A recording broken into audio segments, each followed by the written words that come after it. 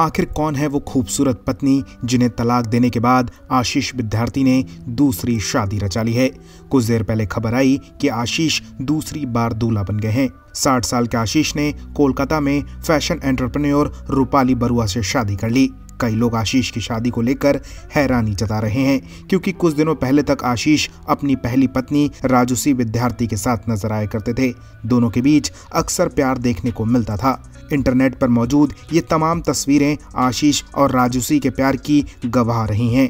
राजूसी जानी मानी बंगाली एक्ट्रेस शाकुंतला बरुआ की बेटी हैं। राजूसी ने अपने करियर की शुरुआत बतौर रेडियो जॉकी की थी। उन्होंने कुछ फ़िल्मों और सीरियल्स में भी काम किया। वो टीवी सीरियल सुहानी सी एक लड़की और इमली में नज़र आई थी। राजूसी आशीष विद्यार्थी एंड एसोसिएट्स की को फाउंडर हैं। ये एक म्यूज़िक कंपनी है।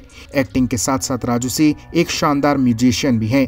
आशीष और उनका एक बेटा भी है। बेटे का नाम अर्थ है, जो विदेश में पढ़ाई कर रहा है। आशीष और राजुशी की ज़िंदगी अच्छी बीत रही थी, लेकिन फिर अचानक दोनों के रिश्ते में खटास आई। ये रिश्ता कब टूट गया, किसी को कुछ नहीं पता। आशीष विद्यार्थी का एक यूट्यूब चैनल है, जिसमें राजुशी के साथ उनके कई व्लॉग्स हैं। एक व्लॉग में तो वो ये कहते हुए भी नज़र आ रहे हैं कि वो शुक्रगुजार हैं कि उनकी ज़िंदगी में राजुशी हैं। कुछ महीने पहले ही आशीष और राजुशी अपने बेटे के पास अमेरिका भी गए थे। दोनों का तलाक कब हुआ, इसके बारे में कोई ठोस जानकारी नहीं है। हालाँकि कहीं दावा किया जा रहा है कि एक साल पहले आशीष और राजुशी अलग हुए।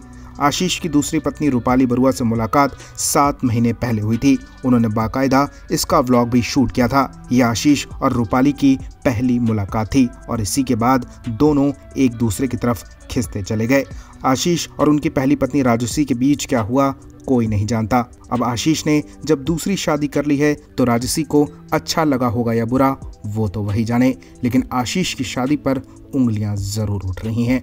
वेल आप क्या कहेंगे इस पर? अपनी राय हमें कमेंट पे दीजिए और ज़्यादा ऐसी अपडेट्स के लिए बॉलीवुड पर चर्चा को सब्सक्राइब कीजिए।